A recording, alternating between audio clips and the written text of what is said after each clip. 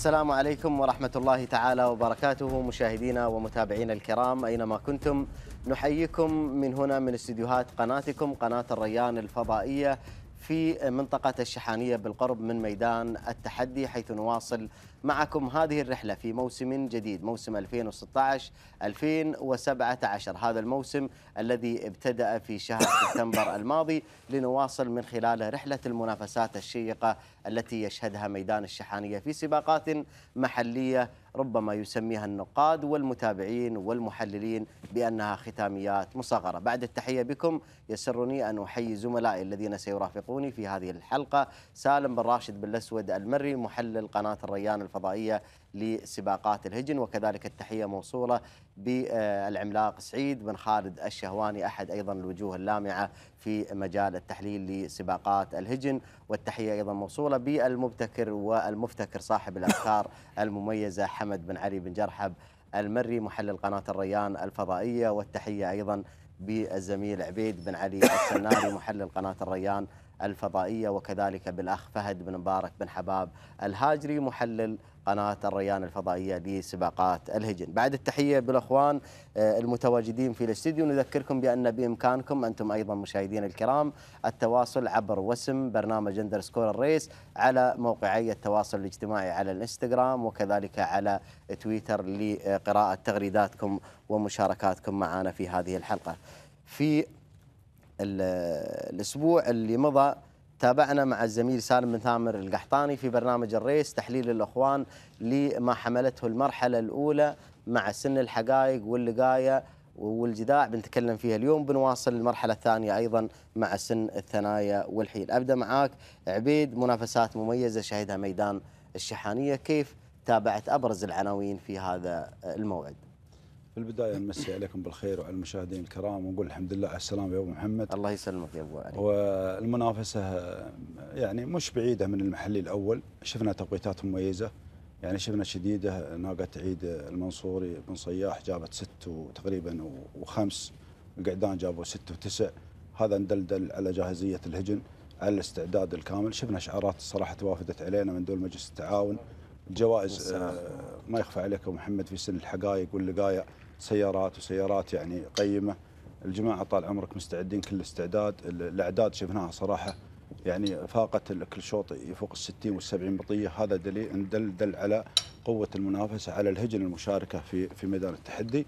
مثل ما عهدنا ومثل ما تفضلت أنت في مقدمة البرنامج قلنا ميدان التحدي يعني محلياته شبيهة بالختاميات المصقره وهذا دل دل طال عمرك على يعني الهجن المشاركة التوقيتات المميزة الأعداد الاعداد المشاركة وأكثر الأشواط اللي شفناها يكون فيها منافسة للأمتار الأخيرة.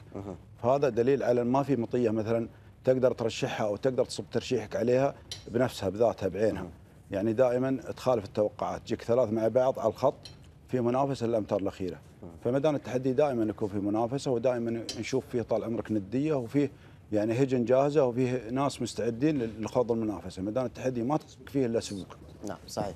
فهد في وجهين للمنافسة في ميدان الشحانية باعتبار إذا قسنا الموضوع بأن هذه السباقات هي أشبه بالختاميات المصغرة. من ناحية الوجه الأول نقدر نقول بأن هذا الأمر إيجابي بالنسبة للملاك إنهم يدخلون في تحديات صعبة وبالتالي يكون هناك احتكاك قوي. الوجه الآخر اللي يمكن نسميه سلبي أو ما شابه هو بأن مالك الهجر اللي حاب إنه يجهز مطاياه صعب إنه يخوض غمار تحدي قوي باعتبار أنه راعي السبوق وده له وده بالشوط الخفيف وده بالهجن الشوي حتى يجهز مطيته. صحيح أبو محمد بالنسبة للمحليات اللي تشهدها ميدان التحدي في الشيحانية بصراحة إحنا شفنا من المحل الأول والمحل الثاني خصوصا في فئة الصغار شفنا طال عمرك إقبال من الملاك للمشاركة في الأشواط الرئيسية لأن هذه الأشواط وضعت لها جوائز قيمية جوائز قيمة كسيارات جدا يعني ثمينة وكذلك هناك تسعيرة. فأصحاب الحلال ودهم بالبيع ودهم بالمشاركة وخوض المنافسة يعني يجهزون ويعدون هجنهم للمشاركة في مثل هذه المهرجانات. يعني اللي إحنا نسميها مهرجانات مصغرة.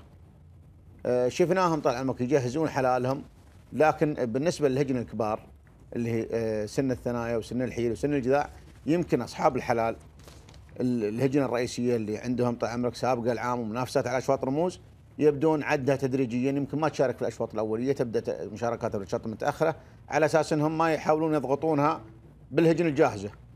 لأن طال عمرك أنا عندي ذلول أعدها من المهرجان المؤسس وطالع للختاميات فأبغي أعدها أنا كمالك ومضمر إعداد تدريجي. صحيح. يعني لو دخلتها باشواط رئيسية تعتبر الأشواط الأولى تكون قوية لها وأنها توجعها ضغط الحلال. ولكن إحنا اليوم والله بصراحة في الفترات السنوات الأخيرة هذه شفنا استعداد الملاك الهجن من آه، بداية الموسم يكون استعدادهم قوي لأن إحنا شفنا توقيت جدا مميزة يعني ست وثانيتين وست وخمس وكسر طال عمرك حاجز الاربع و45 انكسر. صح. وكسر حاجز طال عمرك ال- اللي هو من الثلاثة كيلو وكسر حاجز طال عمرك الثلاث دقائق بعد انكسر. فتوقيت جدا كانت مميزة في هذه المشاركات اللي شفناها. نتمنى التوفيق للجميع. نعم. أبو علي شفنا هجن قوية. هجن نافست على الرموز بل أخذت الرموز. تدخل في السباق المحلي الثاني سواء عند هجن آه، المواطنين ولا كذلك هجن أصحاب السمو الشيوخ الهجن الرئيسية كل واحد عنده عنده خطة يمشي عليها. إحنا يمكن يمكن من المحل الأول شفنا هجن شاركت في أشواط الرموز آه، شاركت المحل الأول. في المحل الثاني شفنا عدد بعد. مبين أكبر من الهجن. هذا ال- الوقت الحين وقت تجهيز. لازم الواحد يجهز. يقولون ما ينفع البر نهار الغارة. صحيح. يعني ما ينفع طال عمرك أخليها اخليها قدام المهرجان بمشاركه مشاركتين قبل كان يخلون لجنه السباق طال عمرك رئيسية يخلونها إلى قدام الختام قدام المهرجان اللي فيه رموز محلي ولا محليين يشاركونها. كان المستوى متقارب لكن الحين الحين زمن السرعة. صح. اللي ما يجهز من وقت ويعد العدة ما يعني ما ذلوله ما هي- بنافعته في في يفوتها القطار يفوتها القطار نعم. والهجن الحين ما عاد عليها قصور شيء. كل الإمكانيات كلها موجودة وكل التسهيلات كلها موجودة. الله يديم علينا النعمة. آمين يا رب العالمين. اللهم آمين. إذا دعونا مشاهدينا الكرام نبدأ معكم في تحليل الأشواط التي شهدها ميدان الشحانية ونبدأ مع سن آه، الجذاع للأشواط العامة حيث كانت المنافسة شديدة بتواجد شديدة التي استطاعت أن تنقل آه، السلامات من هنا من ميدان الشحانية الوثبة. إلى آه، ميدان الوثبة. هناك في دولة الإمارات العربية المتحدة الشقيقة فتهانينا لهم على الفوز وتهانينا لمالك شديده عيد بن عبد الله المنصوري وتوقيتها ست دقائق خمس ثواني ثمان أجزاء من الثانية. أبو راشد الشوط كان شوط شديد وفي الشدة ظهرت شديدة. صحيح إحنا اولا نهني مالك الشديده اللي هو عيد بن عبد الله بن صياح المنصوري على فوزه بهذا الشوط الرئيسي. شفنا منافسة لين الخط النهايه يمكن ما ميزنا فيها الا في الاعاده بين شديدة صح. وبين الدوحة الهديفي وبين الشبله بالحطم العامري. ثلاث كل خلاص، الجميع هذه الحين اللي شو على الشاشه الحين. تقدم الدوحه للهديفي وهذه شديدة في المركز الثاني وهذيك الشبله في المركز الثالث. لا. شك يعني تحدي آه، مميز في المحلي الثاني يا محمد شفنا منافسات سواء في الجذاع أو في الثنايا حتى على مستوى الحيل. ولا شك الجذاع هي الأبرز صراحة وتيم مميز آه، ست وخمس. شديدة مش غريب على السبق.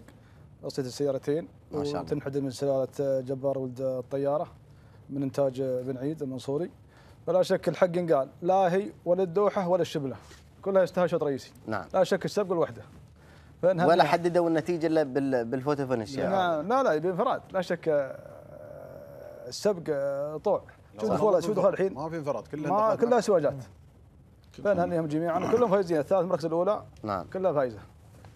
هذا تمتع الجمهور اي خلونا بنشوف ال photo finish شوفوا الدخول. شوف شوف كيف. شوف هذه الحين بال بال بالبطيء بال slow motion بعد شوي بنشوف كاميرا ال photo finish هذه الشديده. واللي وراها الدوحة وهذه بكرة. آه، بالحطب. الشبله. نعم. شوفوا وضحت الان بال photo finish كاميرا خط النهاية اذا. المركز الأول شديدة لعيد بن عبد الله المنصوري الشوط الثاني شوط رئيسي مخصص للجذاع القعدان المفتوح شوط عام واستطاع من خلاله حمدان بن عبد الله المنصوري ان ينقل السلامات للمرة الثانية على التوالي للاشقاء الأعزاء في دولة الإمارات العربية المتحدة مع مصدع اللي وجد لصداعه علاج ألا وهو الناموس بحصوله على المركز الأول. توقيت مصدع ست دقائق تسع ثواني خمس أجزاء. من الثاني تهانينا الحمدان بن عبد الله المنصوري. أبو خالد شوط وجد فيه الصداع آه، مصدع ضالته من الصداع والناموس يداوي راسه ويداوي راس مالكه بعد. البداية نحب نهني مالك هذا الشعار. بن عيد المنصوري على هذا الإنجاز وانتزاع الأشواط الرئيسية في صباح يوم الإجداع للشواط العامة. مثل ما شفنا شديدة انتزعت الشوط الأول الإبكار انتزع كذلك مصدع الشوط الرئيسي للقعدان. وأهدى السلامات مثل ما تفضلت لأهالي الوثبة ويستاهلون إخواننا في دولة الإمارات العربية المتحدة ولا هو بغريب على هذا الشعار. استلم مصدع مثل ما نشوفه مقدمة الشوط بعد لوحة 2 متر تقريبا وكان جلمود في المركز الثاني في ملاحقة مصدع. إلا أنه مخزون مصدع وجاهزيته وسابقه والله يبارك لهم فيه أنهى الشوط لصالحه بتوقيت مميز ست دقائق وتسع ثواني وخمس أجزاء من الثانية وأهدى السلامات كذلك لأهالي الوثبة مثل ما قلنا مثل هدته شديدة. بدون أوامر أعتقد. بدون أوامر نعم وبعيد ما حوله شيء من الحلال. ومصدع ما هي بغريبة عليه قعود سابق وسابق ومشري على سبق مثل ما تفضل راعيه وقال وينحدر من سلالة سراب. سرب ولد العزوم نعم. نعم. سراب ولد ولد العزوم العزوم نعم. نعم. سبق يبغى أصل. ماركة مسجلة سراب ولد العزوم. خلونا نشوف هذه المقابلة مع عيد بن عبد الله بن عيد المنصوري اللي استطاع أن يحقق ناموس الشوطين الرئيسيين مع شديدة ومصدع عيد بن عبد الله بن عيد المنصوري نقول ألف مبروك الفوز اليوم في الأشواط الرئيسية. فوز شديدة واختطافا للشوط الرئيسي للبكار وفوز مصدع واختطافا للشوط الأول الرئيسي للقعدان الله يسهل لك خير وعافية يا أبو بريك يا مرحبا. آه، عيد بنقول بداية أنت قادم للمشاركة من وين؟ أنا قادم من ميدان الوثبة وممثل أهالي الوثبة في ميدان الشحانية. كفو ونقول آه، تستاهل. ناموس ومثلتهم اليوم خير تمثيل ولا عليك زود الله يسلمك تستاهل. من الله خير. حدثنا في البداية عن شديدة شوطها كان ضغط. النتيجة عرفناها بعد التوقيت الزمني photo finish الثلاث المراكز الأولى. كيف شفت الشوط ومساره بما أنك مشارك فيه؟ والله يا أبو بريك الشوط الرئيسي في ميدان الشحانية دائما صعب. ويجي فيه تحدي واثاره هو شديد ناقة سبوق ولها ماضي طيب في رصيدها سيارتين وناقة سبوق والله وفقها وسبقت نعم ولكن ضغط في الأمتار الأخيرة كيف شفت الشوط أنت؟ والله ضغط وأنا كنت متوقع أنها شديده تغير في النهاية أنها ناقة عندها احتياط وناقة راعيه مسافه ولكن في الأمتار اللي قطعت فيها الخط النهاية كيف شفت أنت كيف كانت إعصابك قبل إعلان النتيجة؟ والله السبوق تحفزك يا أبو بريك. واللي مثل شديدة تحفز عليها. غير شديدة أول مشاركاتها والله يبارك فيها. الحمد لله. يوم الله وفقها وتيملت نعم عيد الشوط الأول البكار اليوم كان ضغط؟ نعم كان ضغط من البداية حتى خط النهاية. وغير الله وفقها شديدة في النهاية. السبوق يتيمل دائما. نعم، في رصيدها سيارتين. وش سلالتها؟ سلالتها أبوها جبار ولد الطيارة وأمها بنت شديد بعير بالدبيله المنصوري يعني سلالة جبار سلالة هملوليه نعم سلالة هملولية وأبشرك أنها إنتاج أم وأب في العزبة. تستاهل وجعل ناموس دايم. كذلك مصدع خطف الشوط الرئيسي للقعدان حدثنا عن سلالته ومشاركاته والله مصدع ينحدر من سلالة سراب وأما بنت هملول ومصدع له مشاركات طيب السنة اشتركنا به ويا ثاني واشتركنا به وفاز الميدان الوثبة واليوم هذا اشتراكه الثالث وفاز. عيد دائما يقولون الناموس طعمه غير. حدثنا عن شعورك وأنت تخطف الأشواط الرئيسية اليوم. آه الناموس دائما طعمه غير وله لذة. والأشواط الرئيسية مو بسهلة في الشحانية و- والحمد لله آه، لو بقول كم بقول ما ينوصف لذة الناموس لمن تهدي الفوز اليوم؟ أهدي الفوز آه، الوالدي عبد الله بن عيد المنصوري داعم هذا الشعار وإلى أهالي الوثب ومحبين طيار الوثبه كلهم.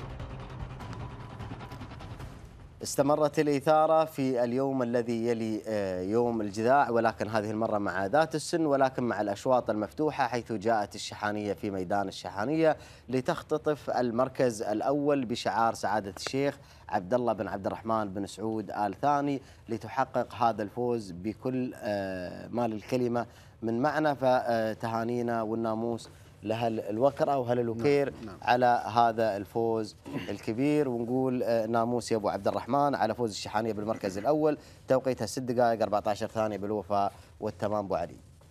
في البداية نتقدم بالتهنئة لمالك الشحانية سعادة الشيخ عبد الله بن عبد الرحمن بن سعود الثاني على انتزاع الشحانية للشوط الأول في سن الجذاع للمرة الثانية على التوالي. ما شاء الله. البكره هذه في المحلي الأول سبقت وعصاها في البطان المحلي الثاني نشوفها تعيد الإنجاز وعصاها في البطان بدون أي أوامر. عند ناصر بن حمد بن مسفر. عند ناصر بن حمد نعم. بن الشهواني. نعم، الشهواني الصغير الشحانية قامت آه، مثل ما شفتوها. في مقدمة الشوط من البداية والشحانية مرتاحة في هذا الشوط وسبقت وعصاها البطان وبدون أوامر. ما شاء الله. والشحانية غنية عن التعريف وش سلالتها يا عبيد؟ أعتقد شا- شاهين شاهين. الوكير. أيوه نعم والشحانية الشحانية تهدي السلام للمرة الثانية على التوالي للوكير وهالوكير. يستاهلون. وبصراحة الوكير والمشاف وذيك نعم الديار. الديار ذيك كلها الجنوبية. الخراف فيستاهلون الشحانية ناقة سبوق ولا فيها كلام. يعني ناقة تقوم رأس وتنهي الشوط رأس شاء المرة الله. الثانية على التوالي. ما شاء الله. وأداء ما شاء الله وشكل. الناقة هذه أنا أتوقع أنها كفيلة بأنها يعني تروح في أشواط الرموز. يا أما تصنع الرمز يا أما تأخذ الرمز. المطية دائما اللي تقوم في مقدمة الشوط إذا في مطية بتقوم تضغط عليها. وإذا هي قامت وابعدت من الحلال صعب اللحاق بها فنهني صراحة سعادة الشيخ عبد الله بن عبد الرحمن بن سعود الثاني على الإنتاج الطيب ويستاهل ابو عبد الرحمن ولا هو قريبه على هجنة يعني. أي والله يستاهل. نعم. اذا هذه آه، الشاهيني الشحانية تختطف المركز الأول للمرة الثانية على التوالي في السباق المحلي الأول والسباق المحلي الثاني. تهانينا للشيخ عبد الله بن عبد الرحمن بن سعود بن عبد الرحمن بن جاسم بن محمد آل ثاني. شوف معاكم مشاهدينا الكرام الشوط الرئيسي الثاني وهو شوط خاص بالجذاع القعدان المفتوح. فحقق مستحيل المركز الأول لسعادة الشيخ جاسم بن سعود بن فهد بن جاسم آل ثاني. آه، تهانينا ونقل مستحيل السلامات من الشحانية إلى أهل الخيسة. أيضا نهني فهيد بن علي بن سلعان وأخوه سعود على هذا الفوز. فهد مستحيل أيضا يأتي بهذا الشعار اللي حقق نتائج وأيضا للمرة الثانية على التوالي. بداية أتقدم بالتهنئة إلى الشيخ سعادة الشيخ جاسم بن سعود بن فهد آل ثاني والتهنئة كذلك موصولة للمضمر فهيد بن علي بن سلعان على إنجاز مستحيل. اللي شفناه يكرر الإنجاز آه، في آه، ويعيد نفس السيناريو في المحل الأول في المحل الثاني. بصراحة القعود هذا يعني كان أداء جدا متميز. وعود آه، منذ الصدارة في المقدمة وعند إصدار التعليمات نشوفه يباعد بين جميع المشاركين على الرغم من وجود آه، قعدان الهجن الشحانية مع المضمر سالم الفران إلا أن مستحيل آه، يعني استحق أنه يكون آه، رأس الحربة لهذا الشوط وتحقيق الإنجاز ولا هو بغريب على هذا الشعار ومالكه وكذلك مضمره والتهاني إلى منطقة شمال قطر في الخيسة. يستاهلون. وإن شاء الله إحنا نشوف يا أبو فهد يا أبو سعود إن شاء الله نشوف مستحيل وإخوان مستحيل. مشاركاتها في المهرجانات الرئيسية. نعم. إذا هذا مستحيل اللي نقل السلامات من الشحانية للخيسة تهانينا للشيخ جاسم بن سعود بن فهد بن جاسم الثاني ولك يا فهيد وسعود هذا الفوز. نتعرف معاكم سوية على نتائج الأشواط التي حملتها منافسات الجذاع البكار والقعدان للأشواط المفتوحة.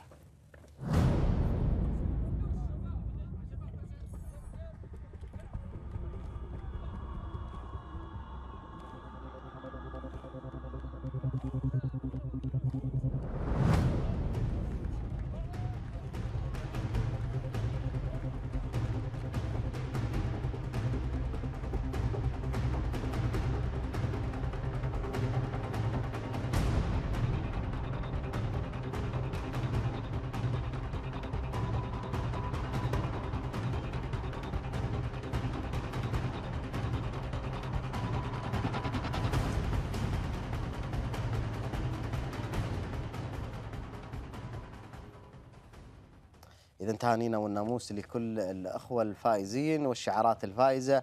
ناخذ جزء من تغريداتكم مشاهدينا الكرام اللي نفرح دائما بمشاركتكم لنا لأن هذا البرنامج منكم ولكم وإليكم. خالد بن محمد الجهني يقول أسعد الله مساكم جميع ويمسي عليكم عبد الرحمن الجهني ويقول ما عاد به حماس عقب الجزيرة. والله يا خالد إن شاء الله الجزيرة نبشرك أنها طيبة وبخير. وهناك أيضا آه، خليفة للجزيرة بل يقال بأنها جزر. آه، خلونا نشوف معاكم في هذا الموسم يا خالد. بإذن الله هجن الشحانية تمتلك القوة الكبيرة وهناك أسماء قوية جدا سنشاهدها وسنشاهد الحماس في آه، قمته بالمنافسات الكبيرة في الختاميات القادمة. عاشق الأصايل يقول نتمنى أن نعرف آخر مستجدات دعم سوق الجت الذي تم الإعلان عنه في الموسم الماضي حيث لا يزال جشع وطمع تجار الجت مستمر ولا جديد.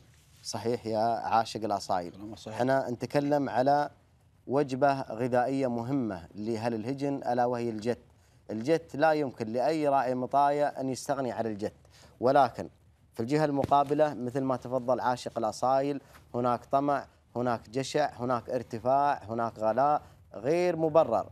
يعني مثلا إذا ربطه الجت بترتفع ريال ريالين بنقول ما عليه لكن ترتفع 10 ريال أو 12 ريال فهذا الأمر غير آه، صحيح. أنا أقول لك إني سمعت يا عاشق الاصايل بأن الافتتاح المشروع بإذن الله راح يكون في أقل من شهر أو حول الشهر. هذا اللي سمعته من أحد الأخوان اللي تم إسناد لهم آه، هذه ال- المزارع. هي أربع مزارع اللي سمعناه وسيتم تفعيلها بإذن الله تعالى في الشهر القادم أو بعد شهر تقريبا. عاشق الاصايل يقول هل تم تحديد تاريخ مركاض السلامة؟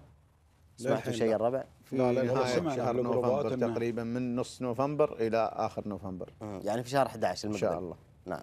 وإن شاء الله نفرح آه، وياكم يا أهل الهجن بعودة سعادة الشيخ حمد بن جاسم بن فيصل ال ثاني رئيس اللجنة المنظمة لسباقات الهجن الذي آه، يقضي الآن فترة آه، علاج في ال- المملكة المتحدة في بريطانيا.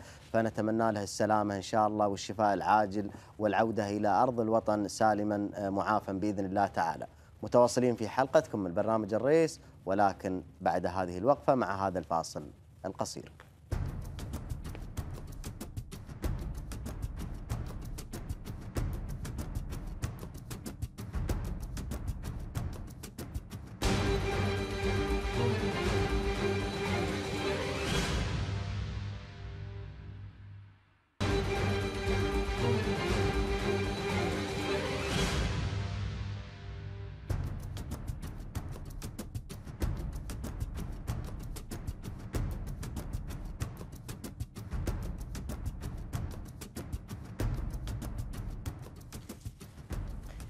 يا مرحبا بكم مشاهدينا الكرام رجعنا لكم بعد هذا الفاصل لنواصل رحلة تحليلنا للأشواط الرئيسية اللي شهدها ميدان الشحانية في السباق المحلي الثاني. نصل إلى سن الثنايا ففي هذا السن مع الأشواط العامة كان التحدي تحديا قويا مع الشوط الأول الرئيسي والذي استطاع من خلاله شعار بن شافي أن ينتزع المركز الأول مسجلا حضورا قويا ولافتا لشعاره في هذا الموسم مع الفاتنة التي استطاعت أن تحقق المركز الأول بتوقيت مقداره سبع دقائق 56 ثانية ثمان أجزاء من الثانية فتهانينا لفهد بن ناصر بن حمود آل شافي على هذا الفوز. الفاتنة أبو علي حققت توقيت ممتاز أيضا في هذا الشوط صحيح. آه، نهنئ مالك الفاتنه فهد بن ناصر الشافي وأخوه محمد وإخوانه كلهم وعموم الشافي على تحقيق الفاتنة الشوط الرئيسي فاتنة آه، شفنا ركضة كان ركضة ممتاز وكان عليها ضغط آه، قوي من النود مملوكة لمحمد بن ناصر الشنجل لكن قدرت الفاتنة إنها تصمد أمام النود وتحقق هذه النقطة اللي غالية عند الشافي لأن آه، الشوط الأول في ميدان الشحانيه مثل ما سمعنا قبل شوي عند في لقاء بن عيد يعني عند هو يتكلم باسم ملاك الهجن كلهم كامله عن له له طابع خاص. شفنا النود الحين مثل ما هي واضحة على الشاشة قدرت آه، آه، تغير. تغير النتيجة وحاولت تصمد قدام الفاتنة لكن آه، الفاتنة مو بغريب عليها السبق لاقى في رصيدها سيارات. ورجعت عليها مرة ثانية. رجعت وهذا دليل يعني المطيه اللي ترد عقب ضغط المطيه عليها دليل قوة صح. المطيه واستعدادها للمنافسه الناقه مو بغريب عليها السبق في رصيدها أربع سيارات. ما شاء أربع الله. سيارات. إي نعم وناقة سبوق. في رصيدها عدد من السبقات في, في الأشواط الأولى. ونهني الشافي والسلامات تروح لها الريان السلاله الشاهينيه بعد. نعم. وفيها شراسة الناقة هذه. شوف يوم يوم لحقتها النود. إي نعم. ما انكسرت. ردت عليها. صح. والناقة طعمك اللي في رصيدها وهذا, وهذا نادر إنك تشوف نعم. لك مطيه هذه المطيه اللي فيها اللي فيها اللي فيها فراسة. مثل الرجال الشهم. ما تستسلم يعني. ما تستسلم. وهي فيها فتنة اسم نعم. على مسمى. نعم صحيح. هي الفاتنه وفيها فتنة على نعم. على انتزاع دائما المراكز الأولى والناقة طعمك في رصيدها أربع سيارات في سن الجذاع وسن اللقايه والتهنئه لاخونا فهد بن ناصر وأخوه محمد وجميع شافي. يستاهلون. وسلامات أهل الريان. سلام. وإن شاء الله نشوف الفاتنة في أشواط آه، الرموز. نعم. إحنا نهني آه، أبو ناصر وأبو ناصر. نهني فهد بن ناصر بن حمود آل شافي وإخوانه ونهني محمد بن ناصر الشنجل أيضا على تقديم النود لهذا المستوى ونقول انتظروا مفاجآت الشنجل أيضا في هذا الموسم. ولكن خلونا نشوف هذه المقابلة مع فهد بن ناصر بن حمود آل شافي بعد هذا الأداء الكبير اللي قدمته الفاتنة وبالفعل كانت اسم على مسمى استطاعت أنها ترجع. بعد ان سحبت منها النود المركز الأول ولكنها عادت وأصرت بعزيمة كبيرة وبالتالي نالت الناموس. فهد بن ناصر آل شافي في هذه المقابلة. فهد بن ناصر آه، بن حمود آل شافي ألف مبروك فوز الفاتنة واختطافه للشوط الرئيسي في ميدان التحدي. الله يبارك فيك ويسلمك يا أبو ريك. شوط قوي.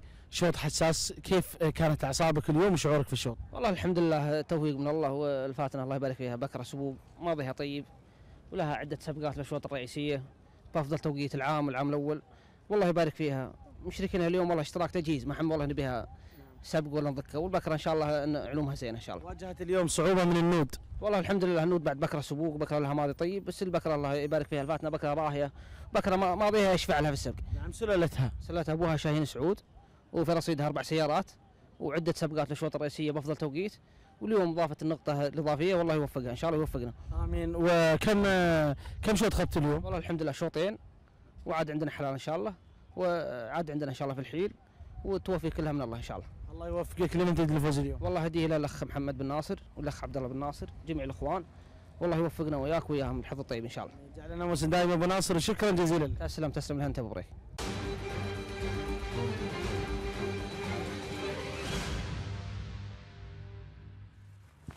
بعد شوط الفاتنة جاء الشوط الرئيسي الخاص بالثنايا القعدان وجاء الجذاب لينتزع المركز الأول بقيادة شعار صويحي بن خيلان الشمري. نقول الناموس يا أبو عبد الرحمن هذا الفوز والتهاني للأشقاء في المملكة العربية السعودية والسلام يروح الحايل وسكاك الجوف والمنطقة هذه كلها. يستاهلون آه، هل المملكة هذا الفوز؟ الجذاب أعتقد بالأسود أنه ولد الجذاب عير علي بن فراج إي نعم طبعا. نعم. كيف تابعت الشوط وكيف استطاع الجذاب أن يجتذب الناموس؟ مبارك لمالك الجذاب اللي هو صويحي بن خلان الشمري على فوزه في ميدان الشاحنيه بالشوط الرئيسي. الجذاب آه، أستاذ غني عن التعريف. شاهدنا بنته في المحل الأول تنزع الشوط الرئيسي اللي هي ناقة ابن آه،. بالراية. شاهدناه وبعدين خفة القعود ما شاء الله تقول بكرة. مهم القعدان اللي يركبها لحم. لحوقة عمرك وغياره مستواه رائع جدا أداء القعود ماضية تقريبا عندهم تقريبا أربع سيارات. ويمكن هذه دخوله الأول عندنا في ميدان الشحانية. وبن خلال دائما نجيب نوعيات مميزة.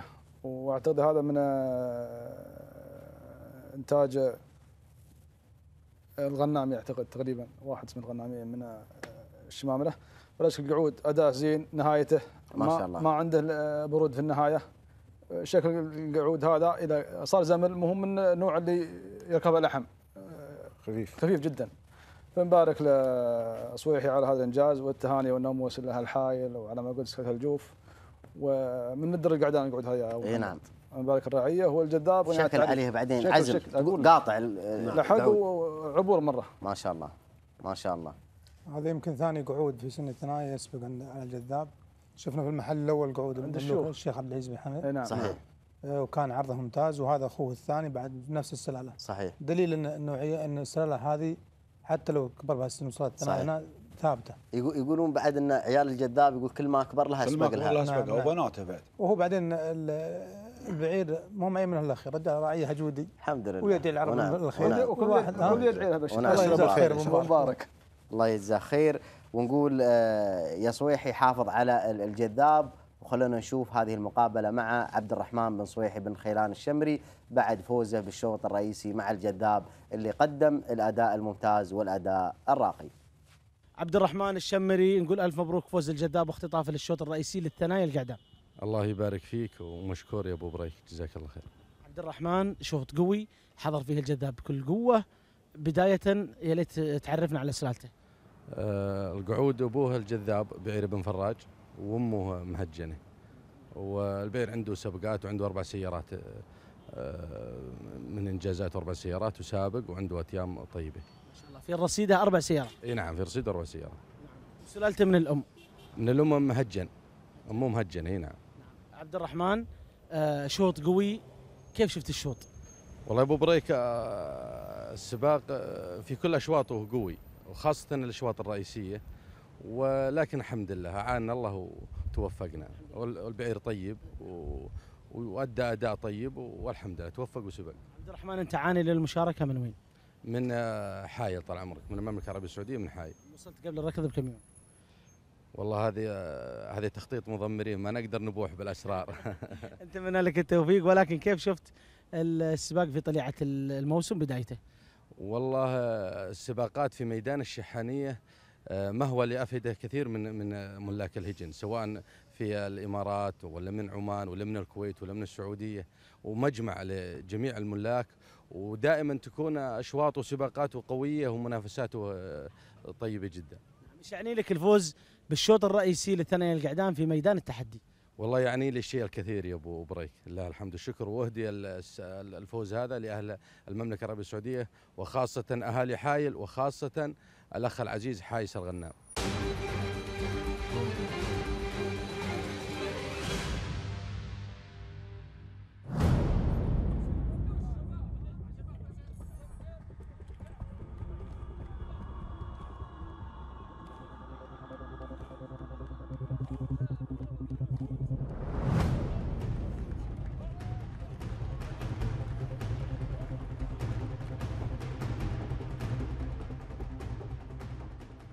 تهانينا لكل الفائزين ومثل ما قال عبد الرحمن بن صويحي آه، الشمري قبل شوي بأن هذا تكتيك مضمرين وبالتالي لم يفصح عن المدة الزمنية التي جاء آه، قبل مشاركة الجذاب في هذا السباق. ولا ننسى بعد نودي السلام الحايس الغنام مثل ما قال عبد الرحمن على فوز الجذاب تواصلت الإثارة في الأشواط المفتوحة وجاءت الواعية التي استطاعت أن تنتزع المركز الأول مع هجن أصحاب السمو والسعادة شيوخ.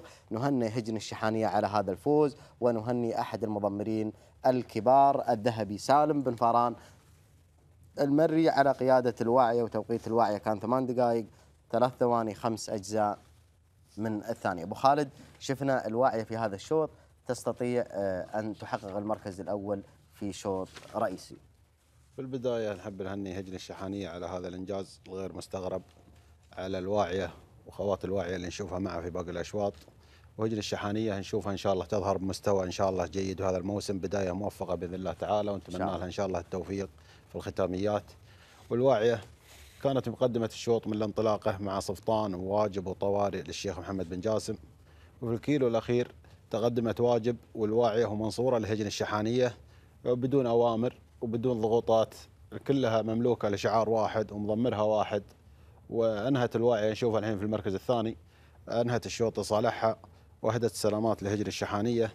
ونشوف هجن الشحانية إن شاء الله مثل ما قلت لك ساعات تظهر المستوى اللي اعتدناه عليها إن شاء الله. وإن شاء الله نتمنى إن شاء الله نشوفها في أشواط حساسة في أشواط رموز في الختاميات وفي المهرجانات القادمة بإذن الله تعالى. كما نهني مضمر الواعية سالم بن فاران المري على هذا الإنجاز وله غريب على أبو سالم. ونتمنى إن شاء الله التوفيق لجميع المضمرين ولهجن الشحانية والشعار الأدعم. إن شاء الله آه، هذه الواعية بنشوفها الآن في توقيتها الزمني قطعت المسافة في ثمان دقائق ثلاث ثواني خمس أجزاء من الثانية. الشوط الرئيسي الثاني لبى فيه ملبي نداء الشعار الأحمر الشعار الخطير الشعار الذي نسعد دائما بمشاركاته معنا في ميدان الشحانية شعار هجن الرئاسة التابع لدولة الإمارات العربية المتحدة فتهانينا للقائمين على هجن الرئاسة بمناسبة فوز ملبي وتهانينا للمضمر ال- الخبير المضمر العملاق راشد بن بخيت بن مقارح المري اللي قادم ملبي في هذا الشوط. يا عبيد. في البداية نتقدم بالتهنئة لهجن الرئاسة والمضمر هجن الرئاسة راشد بخيت بن مقارح المري على انتزاع ملبي للشوط الأول في سن الثنايا أصحاب السمو والشيوخ والسعادة. ملبي غير على المركز الأول تقريبا عندي يمكن آه، الكيلو 200 متر الأخيرة على حساب الباز لهجن الشحانية مع محمد بن خالد العطية اللي جر الشوط من البداية حتى الكيلومتر الأخير. وكان ركض ملبي أنا أشوفها ركض تلقائي وبدون تكلف يعني. وشفنا ملاحقة من كرار لسعادة الشيخ جاسم مسعود الثاني. ولكن ملبي كان صاحب كلمة هذا الشوط. ملبي وفارق أعتقد. نعم بفارق والقعود والقعود طال عمرك يعني ما جاته أوامر ولا جاه ضك من شيء من القعدان. القعود ما شاء الله أداه يعني كان تلقائي وأداه كان مميز. فيستاهلون هجر الرئاسة ويستاهل راشد بخيت بن مقارح. و- وصراحة يعني لون وعون. القعود هذا نعتبره من القعدان اللي بيكون لها سلالته بصمه في الختاميات. والله تجهني سلالته لكن القعود آه، أتوقع إنه محلي يعني من شكله. القعود ما شاء الله يعني أداء ونهاية وفارق يعني وراح مع قعدان سباق لكنه يعني أفرض وجوده في في هذا الشوط ويستاهلون نعم اذا هذا هو ملبي يقطع المسافة في ثمان دقائق ثانيتين ست أجزاء من الثانية ونتابع معكم الأسماء التي حققت النواميس في هذه المنافسات لسن الثنايا مع الأشواط المفتوحة.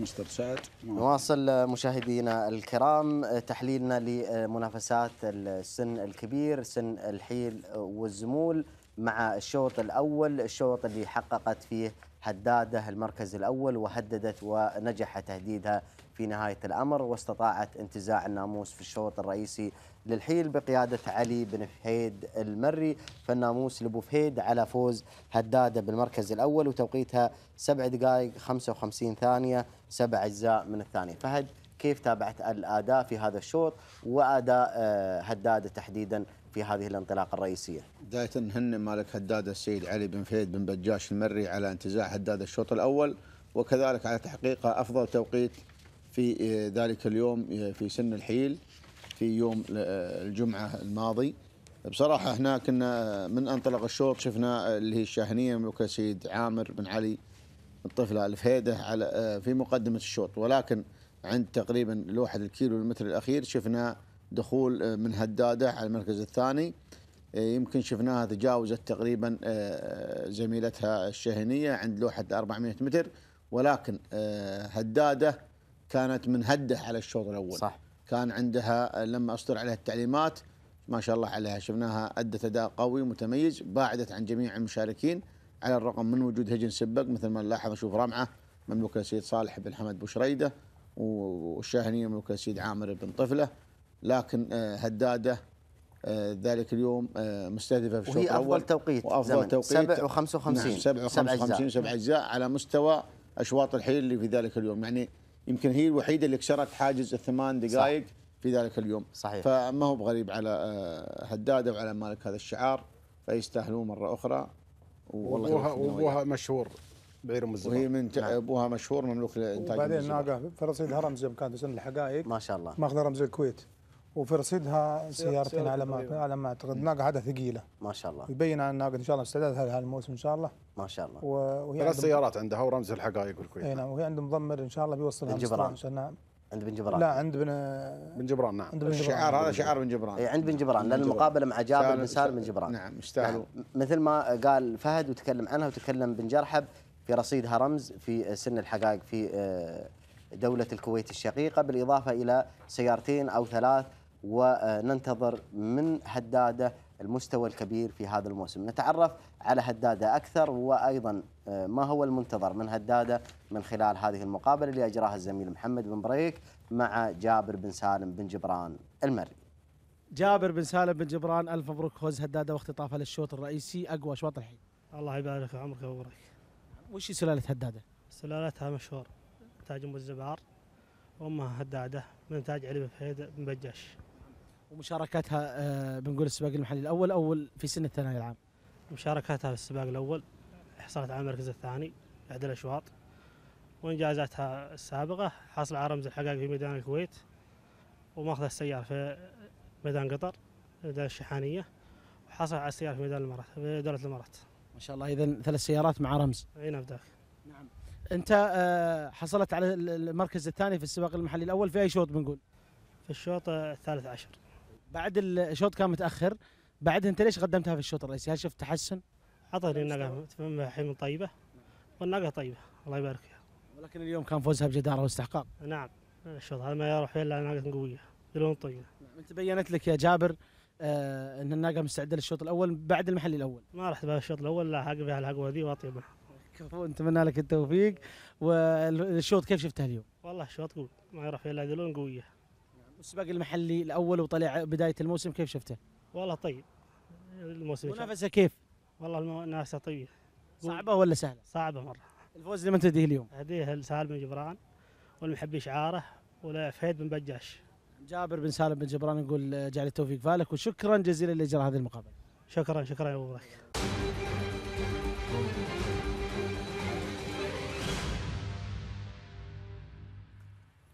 إذا مشاهدينا الكرام بعد شوط هدادة جاء محذر الذي أرسل تحذيراته وهذه التحذيرات كانت بالفعل تحذيرات قوية ومحذر. استطاع أن ينتزع الناموس لجار الله بن عبد الله المري. ثمان دقائق أربع ثواني ثمان أجزاء من الثانية. كيف تابعت محذر في هذا الشوط اللي قاده بن ذروة بن جرحب؟ والله نهن مالك محذر. محمد بن جر الله بن دروه آه، البريدي. آه، محذر طبعا مو بغريب عليه آه، المستوى هذا. شفناه له عدة سابقات وشفناه يمثل ما- مالك شعار مالكه خير تمثيل وقدر يحط فارق بينه وبين الركاب المنافسة رغم انه موجودة مع ذاك اليوم. ركاب لها ماضي ولها في بعض- بعضها دائما نشوف أشواط الرموز لكن محذر قدر يقدم عرض. يطرب الجماهير الصراحه وتوقيت بعد مميز ثمان دقائق واربع ثواني توقيت يعتبر من أفضل التوقيت في سن الزمول. آه، لكن محذر إن شاء الله نقول إن شاء الله السنة هذه إنه إنه هو مالكه يحذرون على الركاب ويعلن آه، التحدي دائما. أبو جر الله دائما جر الله إذا قاعد عنده مطيح سبوق دائما تلقاه يزام وطلع عربان اللي هل السباق لكن إن شاء الله محذر انه إن شاء الله يمثل آه، شعاره خير تمثيل ونتمنى لهم إن شاء الله التوفيق. نعم توقيته زين. كان توقيت مقارب للحيل. نعم ثمان. دقائق ثمان دقائق واربع ثواني. توقيت صراحة توقيت ممتاز. حط حط فارق بينه وبين الأشواط الثانية. الأشواط الزمول فرق كبير. نعم. دليل قوة محذر. واستعداد إن شاء الله للموسم. نعم اذا هذا هو محذر لجار الله بن عبد الله البريدي المري. تهانيا لك يا بن ذروة على هذا الفوز وخلونا نتابع هذه المقابلة مع جار الله بن محمد بن ذروة اللي تابع هذا الفوز مع محذر في الشوط. الرئيسي للزمول بتوقيت ممتاز ثمان دقائق أربع ثواني ثمان أجزاء من الثانية وبعد هذه المقابلة أيضا نتعرف على نتائج ال- الفترة. الصباحية التي شهدتها منافسات الحيل والزمول وكذلك الهجن السودانيات. شوط قوي آه، محذر حسم الشوط آه، من وقت مبكر نقول تستاهل ناموس وجعل ناموس دايم. مساء الخير وعافية. محذر قوي ومو غريب عليه. نعم وش سلالته؟ سلالته يبيه البيرق بعيد من شيلة الزبدان ومعها بن شهيد. ومشاركاته قبل الشوط اليوم؟ آه العام ثاني على الموتر وهذا أول اشتراك له السنة دي. ال- كيف شفت الشوط اليوم جار الله؟ والله الحمد لله. الشوط جاء مع مصالحة؟ توفيق من الله. الحمد لله رب العالمين. الشوط كان ضغط؟ نعم ضغط. الشوط الأول لازم يكون فيه ضغط. لمن تد... ما يسبق فيه إلا سبوق لمن تدي الفوز اليوم أبو محمد؟ أهديه العمي عبد الله بن جلة بن ذروة وبي محمد بن جلة ووالد عمي جلة بن عبد الله في الإمارات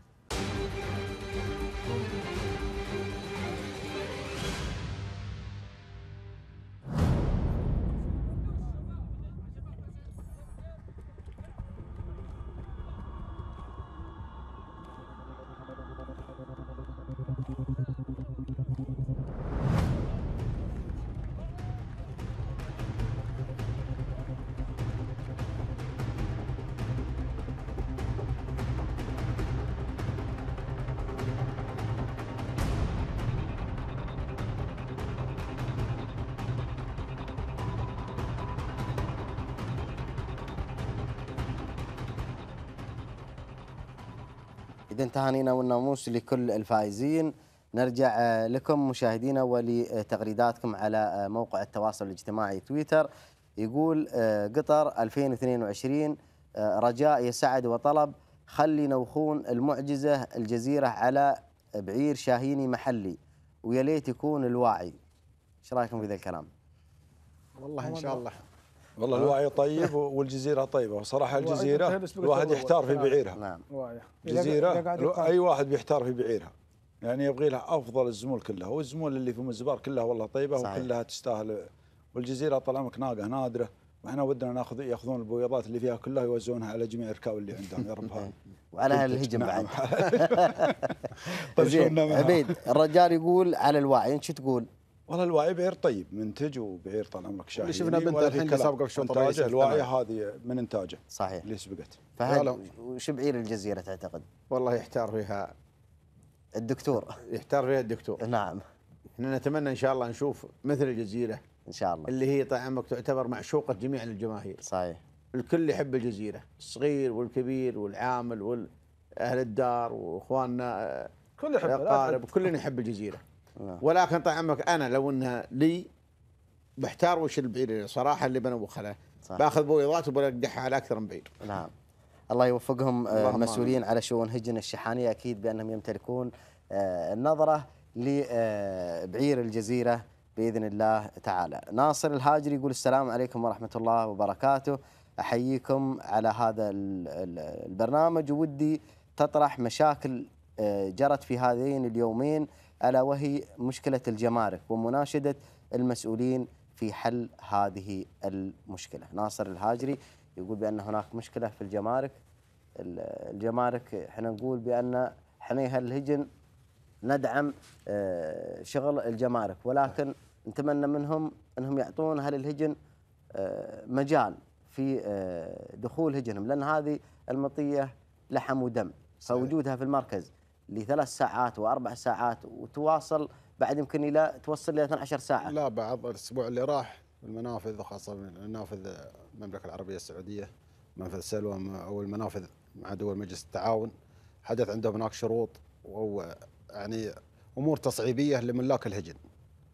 الا تدخل من أصحاب السمو المسؤولين عن هذه الرياضة نعم الله يطول عمره الله سمعنا يطول. سمو الأمير آه، عبد العزيز نعم. بن سعد بن جلوي سعود سعد بن جلوي تحية. في هذا الموضوع ونقول له الله يبيض وجهه والله يجزاه خير ولا هي بغريبه عليهم على المسؤولين عن هذه الرياضة بالتدخل في مثل هذه الأمور وتسهيل إجراءاتها.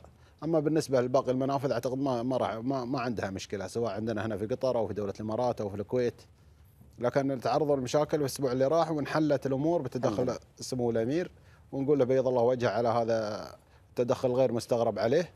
وم- ومثل ما تفضلنا قبل وتكلمنا قبل وقلنا يجب تسهيل إجراءات الهجن الهجن الخاصه الهجن المشاركة في السباقات. لانها تتحمل في وقت وتتفحم في وقت ويعني واهلها مجهزينها ومرتبينها ما يصير تجي وتأخرها في المركز يوم أو تأخرها ثمان ساعات سبع ساعات معقلة في السيارة. يعني هذا يقلل مستواها ويقلل من أدائها اللي تطلبها أنت يا مالكها منها.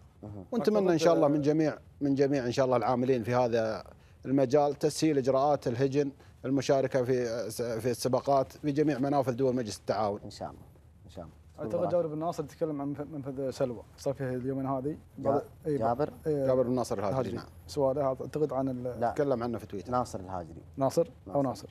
اي اشكاليه حدثت في منفذ سلوى؟ في اشكاليه مثل ما قال أبو خالد؟ نعم. شروط والله ما أدري بس بعد الحال رجع. بس بعد تدخل الأمير بس، عبد العزيز بن سعد الله يبيض وجهه. صار فيها حل. أدري الشروط هذه. وإحنا طال عمرك نشد على ايديهم طال عمرك الجهات الأمنية. صح. معاهم مش ضدهم. لا شك في شروط معينة. وهذا الهجم مثل ما إحنا عارفين رايحين جايين. مرة في قطر مرة في الإمارات مرة في الكويت. مرة في السعودية. إيه كلهم اجراءات مثلا نعم. تمشي أمورهم. الأخوان بلد واحد. الأخوان أكيد. السعوديين يا أخوي سعد هم كل أسبوع حلالهم أكثر في السعودية اللي في بشاير واللي في السيح واللي في الميادين القريبة من قطر. يحمل قبل الركض بيوم ولا يومين يجي يركض ويرجع. صحيح. يعني انت كل مرة بتصعب عليه الأمور وتطلب منه ما لا يستطيع هذا يعني نعم. إحنا إحنا آه، مثل ما آه، تكلمنا في مرات سابقة بأن إحنا ندعم آه، كل المجهودات اللي يقومون فيها الإخوان في الجمارك في المنافذ البرية ولكن نطلب منهم رجاء. رجاء بتسهيل بعض الأمور على أهل الهجن لأن أهل الهجن دائما في مشاركات سواء كانت المشاركات داخلية ولا خارجية سواء عندنا في منفذ بوسمرة ولا في منفذ سلوى ولا في البطحة ولا في الغويفات ولا حتى في منافذ ال- المنافذ البرية الموجودة في دولة الكويت، هذه المشكلة أعتقد بأن تدخل فيها سمو الأمير عبد العزيز بن سعد بن جلوي آل سعود رئيس اللجان المنظمة لسباقات الهجن في المملكة العربية السعودية. وتم آه، معالجة هذه المشكلة، شكرا لسمو الأمير وشكرا لكل الرجالات الذين آه، يقومون بتطوير هذه الرياضة العربية الأصيلة وبتذليل المصاعب والعقبات التي تواجه هل الهجن فاصل؟ وراجعين لكم مشاهدينا الكرام.